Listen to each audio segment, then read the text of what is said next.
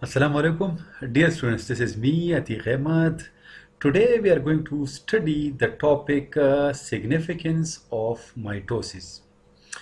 In the previous lecture, we have studied the phases of mitosis and uh, we have completed the mitosis topic, the various phases of mitosis. Today uh, we are going to study the significance of mitosis. Significance means importance. So today we are going to study what is the importance of mitosis.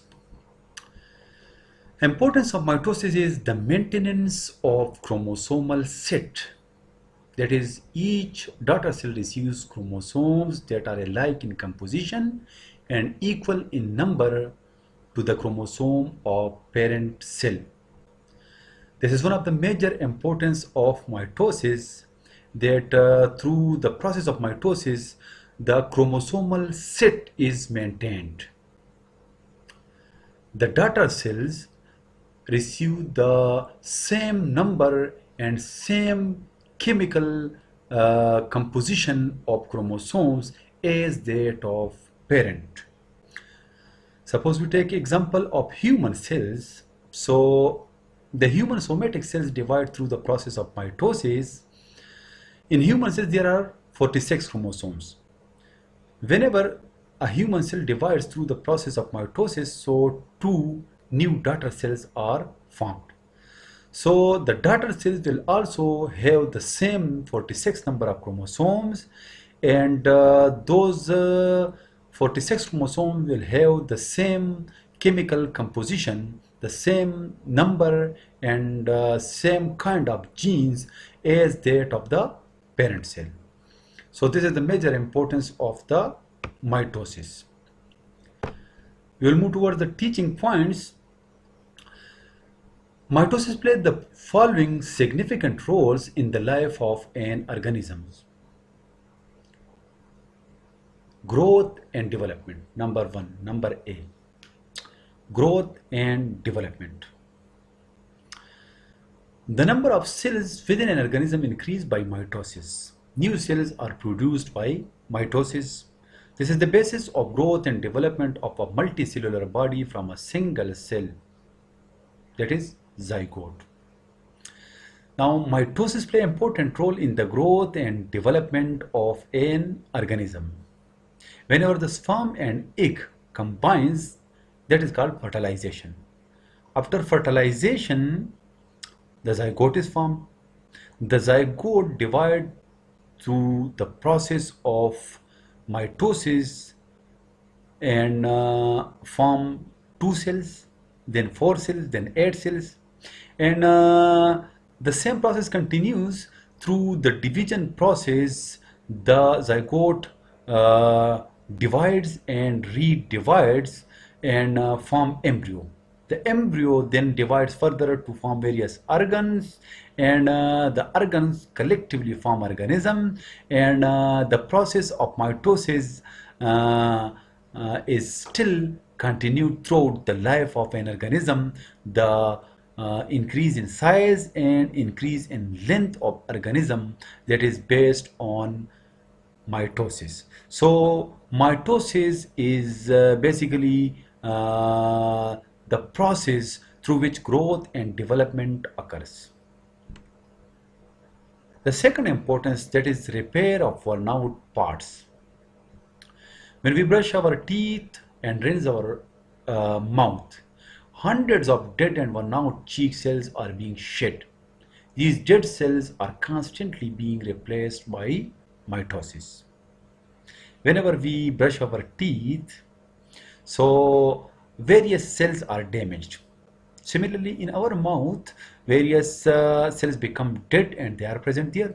So whenever we brush our teeth and then we uh, wash our mouth, so uh, several damaged as well as dead cells are shed from our mouth. Those cells are continuously replaced through the process of mitosis. Similarly, in the skin and digestive tract of humans as well as other animals, various cells are constantly removed various cells are constantly damaged and uh, they become dead and uh, they are constantly removed and uh, they are continuously replaced by the process of mitosis. Another importance of the mitosis is uh, asexual reproduction. Mitosis is a means of asexual reproduction. Many organisms reproduce asexually through cutting, grafting and budding process. Now, what is cutting? Cutting is a process of asexual reproduction which is usually applied in plants. In plants, a piece is uh, cut down from main uh, plant and that is grown in a moist soil.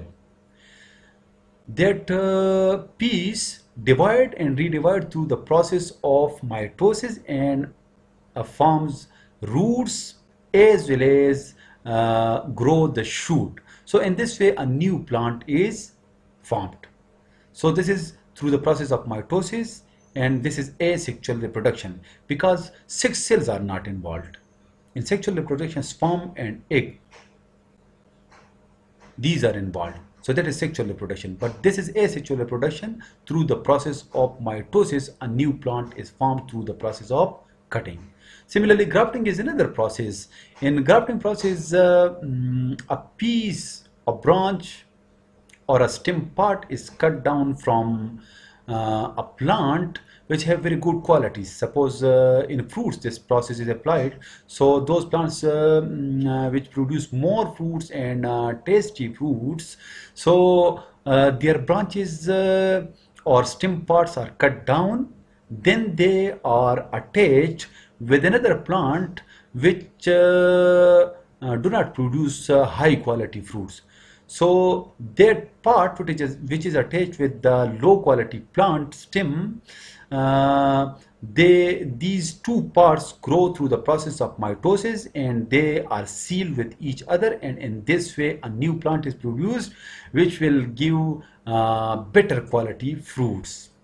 So this is the process of grafting a part is cut down uh, from a high quality plant that is attached with the low quality plant and uh, through the process of mitosis they are sealed with each other and a new plant is formed which will give uh, high quality fruits. The budding, the third process, it is, it is explained here in this example. For example, Hydra reproduces asexually by budding. The cells at the surface of Hydra undergoes mitosis and form a mass called bud. Mitosis continues in the cells of bud and it grows into a new individual. Hydra is basically an animal. Remember, it looks like a uh, uh, plant, but it is an animal. It is found in water. So this uh, Hydra, it is an animal, an aquatic animal. It uh, reproduces asexually through the process of mitosis. So from the surface of this hydra, this small bud is grown. It is uh, produced through the process of mitosis. The surface cell divide and redivide through the process of mitosis and this small outgrowth. This outgrowth, this is known as bud. This is formed. In the next step, this uh, uh, bud grows further and uh, again it grows further this is uh, a bud and now it grows further to form a new hydra. And at the last step it is detached from the parent hydra and it falls into the water and it grows into a new individual into a new hydra. So this is uh, asexual reproduction through the process of mitosis. Similarly Mm, the same division mitosis occur during asexual reproduction, vegetative reproduction in vegetative parts, shoots and roots in flowering plants. In flowering plants, uh, in shoots and roots, the process of mitosis occurs through which uh, new parts are formed and those small parts then uh, grow asexually through the process of mitosis to form new plants. And uh, the last importance uh, of the mitosis is the regeneration process. It is the natural process of replacing or restoring damaged or missing cells or tissues or organs and even entire body parts to full function in plants and animals. Regeneration is a process in which uh, the various missing parts or damaged parts are restored, are regenerated, reproduced through the process of mitosis.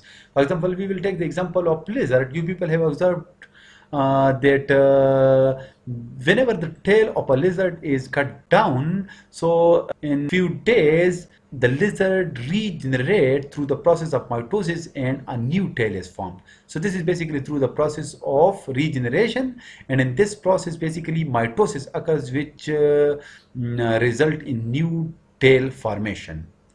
Regeneration of whole body from a piece of the body in Hydra. Uh, Hydra is an aquatic organism. It is an animal.